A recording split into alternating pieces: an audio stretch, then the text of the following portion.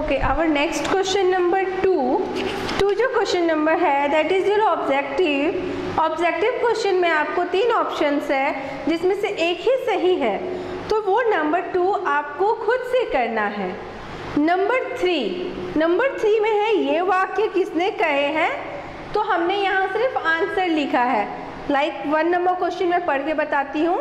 हमें साढ़े आठ बजे तक विद्यालय पहुँचना है। तो ये सेंटेंस जुबेदा ने कहा था। तो मैंने लिखा, जुबेदा, क्या 1947 से पहले हमारा देश स्वतंत्र नहीं था? ये बात किसने कहा था? मोहन ने। तो इस तरह हमने हमने क नंबर से अंगा नंबर तक, नंबर थ्री का यहाँ मेंशन किया है, इसे अपने अपने कॉपी में नोट डाउन कीजिए। अब है हमारा नेक्स्ट क्वेश्चन नंबर फोर।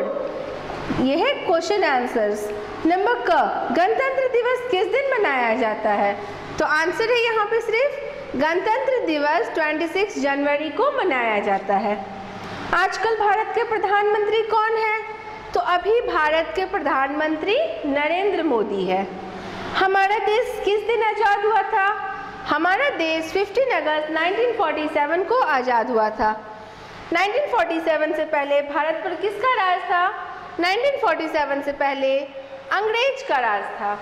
तो ये हमारा क्वेश्चन आंसर से आप सभी इसे अपने कॉपी में नोट डाउन कीजिए। और बाकी जो बुक पोर्शंस है पेज नंबर 16, 17, 16 और 17 एंड 18 ऑल्सो ये बुक पोर्शन है कुछ फिल इन द ब्लैंक्स है। कहीं पर कहीं पर समझ समझ कर पढ़ पढ़ कर उस वर्ड को लिखना है। बहुत ही ईजी है।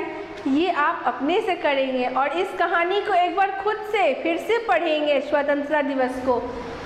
तो आज हमारा लेशन थ्री, स्वतंत्रता दिवस यहीं पर कंप्लीट हो रहा है। आप इसे अच्छे से अपने नोट कॉपी में नोट डाउन कर लीजिए। Thank you.